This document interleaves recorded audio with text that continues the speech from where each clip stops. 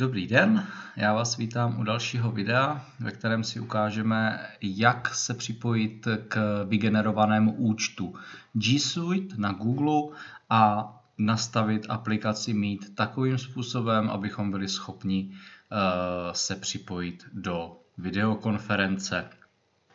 Co potřebujeme na začátku udělat, je dostat se na hlavní stránku Google, samozřejmě to všichni známe, nemusíme vysvětlovat. Tak a bude nás zajímat eh, zde v pravém rohu eh, kolonka přihlásit se.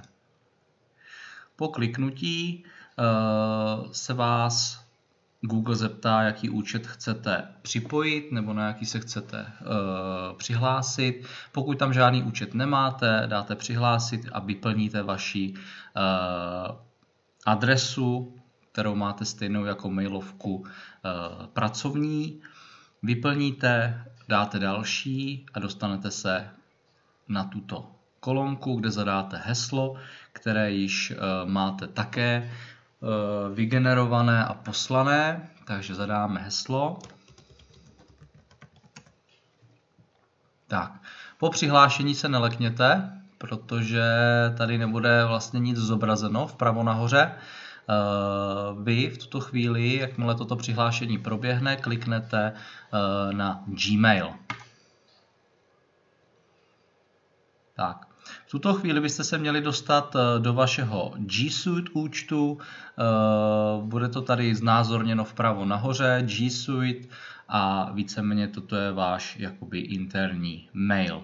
Tak, abyste byli schopni se připojit do aplikace eh, a do té videokonference, tak eh, ťukneme, prosím vás, tady nahoře je aplikace, je to takový, takové to pole devíti teček.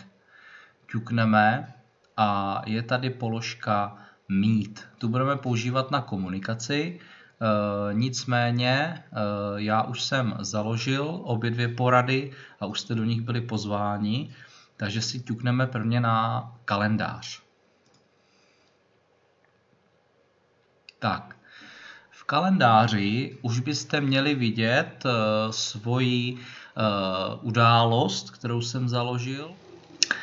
A to porada ve čtvrtek, která proběhne v 10 hodin a pro první stupeň a v pátek také od 10 hodin pro druhý stupeň.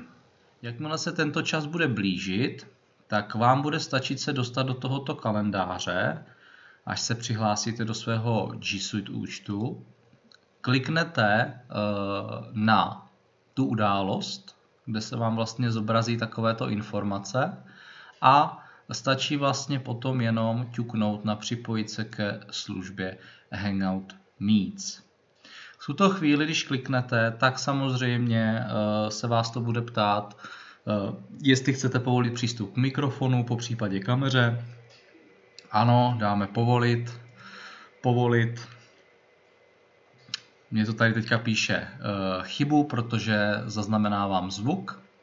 Nicméně v tuto chvíli máte vše nastaveno a jediné, co dáte, tak je připojit se. V tu chvíli vás to připojí do uh, vlastně online videokonference té porady, která bude probíhat. Nemělo by na tom být nic složitého. Eh, pokud by to nefungovalo eh, někomu, tak ještě kolem té desáté hodiny každému eh, na EduKit pošleme odkaz, který si skopírujete a vložíte normálně do webové adresy a dáte Enter a měl by vás to na ten Meet automaticky přihlásit. Nicméně, co je směrodatné, tak musíte být vždy Eh, připojení a přihlášení na ten svůj G Suite účet.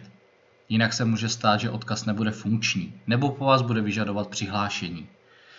Tak, já doufám, že to zvládneme. Na iPadu je to víceméně úplně to samé. Eh, tam fungujete samozřejmě přes prohlížeč Safari, kde se přihlásíte na Google a tam už se stejným způsobem přihlásíte jako na jakémkoliv dalším zařízení. Eh, pokud by měl někdo nějaký problém, tak eh, neváhejte mě kontaktovat, pokusím se vám poradit. Mějte se hezky a Naschledanou.